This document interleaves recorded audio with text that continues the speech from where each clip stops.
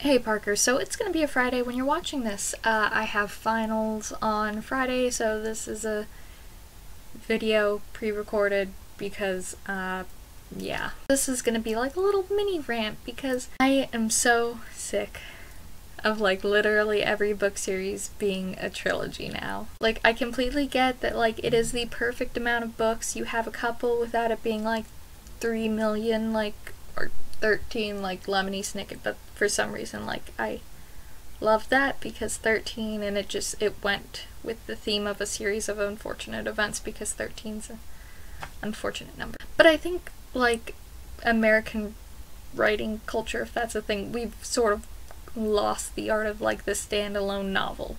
Or maybe we lost it and now we're coming back because now that I think about it, a couple of really great standalone novels have come out, like Perks of Being a Wallflower and Speak and all of John Green's books. And honestly, everything I write has gone into it being like the idea of this would be a standalone book because I don't have the attention span to plan for a series. But honestly, it's gotten to the point sometimes where like a, a, trilogy will turn me off. It's like I've read too many trilogies and like now when I see something that isn't a trilogy like Game of Thrones where it's five, hopefully soon six books or I can't even think of any others. I guess Harry Potter?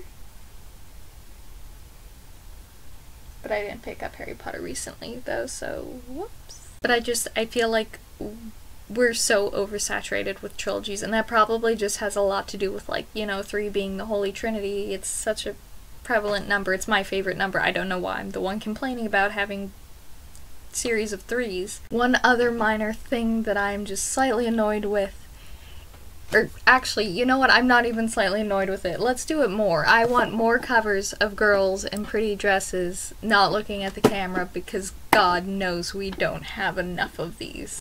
I'm, I'm not calling out this book in particular. It's Torment by Lauren Kate and I actually really love it, but it was just like the first one I saw in Grap that I knew had a girl in a ball gown on the cover. That might be a theme with her books in general, though. In fact, I sort of feel like there's only two types of three there's only really two types of teen girl romance YA covers and it's girl with a ball gown not typically not looking at the camera or extreme close face up. And that makes me a little bit sad. Like come on, I I know that this is this tells you what you're getting into. But there are so many really good graphic designers out there or just like fans with Photoshop, and I feel like we can surpass this. And so, Parker, that's just my little talk for today. Uh, give me a little bit more variety in my book covers, and I will be a very happy person. It's like I get that this the the girl in the dress tells me what I'm getting into, but just a little bit, a little bit, little bit more. That's all I have today. Like I said, I'm taking a final, so uh, gross.